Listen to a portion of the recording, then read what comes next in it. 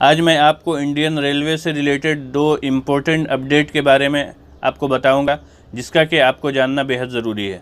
Hello friends मैं Mazhar Ahmad welcome करता हूँ आप सभी दोस्तों का आज की इस इंटरेस्टिंग वीडियो में। इंडियन रेलवे फ़र्स्ट अप्रैल से अपने पैसेंजर्स के लिए एक नई सर्विस की शुरुआत कर रही है।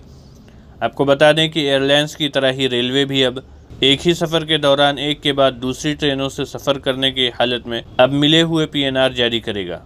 इस नई सर्विस के बाद पैसेंजर्स को पहली ट्रेन के लेट होने की वजह से अगली ट्रेन के छूट जाने पर बिना किसी चार्ज के आसानी से उन्हें रिफंड मिल सकेगा।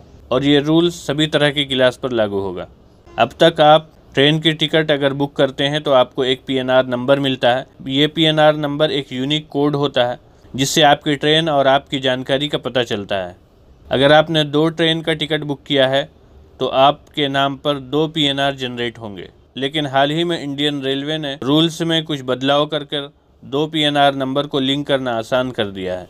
फिर चाहे आपने टिकट ऑनलाइन बुक की हो या काउंटर पर, ऐसा करने से पैसेंजर को पहले के मुकाबले में आसानी से अब रिफ़ंड मिलेगा।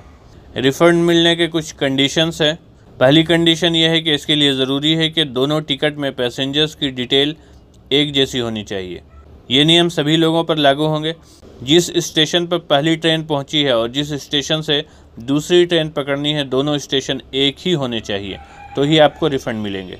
अगर आपने काउंटर से रिजर्वेशन टिकट बुक करवाया है तो पहली ट्रेन आने के असल टाइम से तीन घंटे के अंदर आप अपनी दूसरी ट्रेन को कैंसिल करा सकते हैं। रिफ़ंड का अमाउंट आपको काउंटर पर ही मिल जाएगा।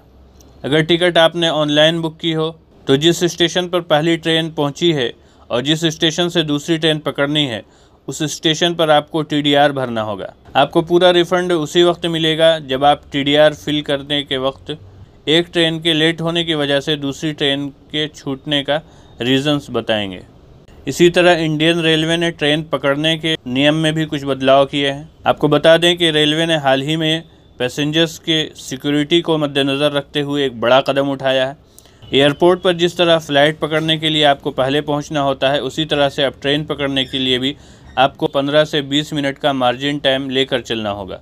रेलवे स्टेशन पर कुछ टर्म्स बदल रहे हैं, जिससे पैसेंजर्स को एंट्री से लेकर प्लेटफॉर्म तक पहुँचने में लगने वाला वक्त बढ़ सकता है। इस व्यवस्था को सबसे पहले इलाहाबाद पुणे रेलवे स्टेशन पर लागू किया जा चुका है। कर्नाटक के हुबली रेलवे स्टेशन पर भी ये नई सर्विस लागू हो चुकी है। आपको बता दें कि ये बदलाव अभी कुछ ही स्टेशन पर हुआ है, बाकी के स्टेशन पर होना बाकी है। इंडियन रेलवे ने आपको ये सलाह दी है कि आप पैसेंजर्स फ़्लाइट की तरह ही ट्रेन पकड़ने के लिए भी करीब 15 से 20 मिनट का मार्जिन टाइम लेकर घर से निकलें।